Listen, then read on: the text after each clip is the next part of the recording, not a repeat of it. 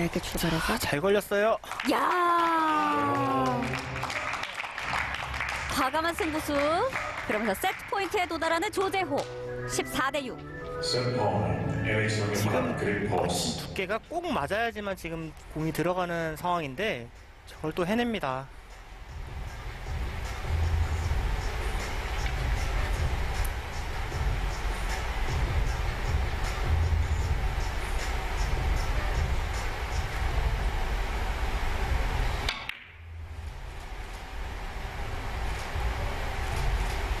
마무리.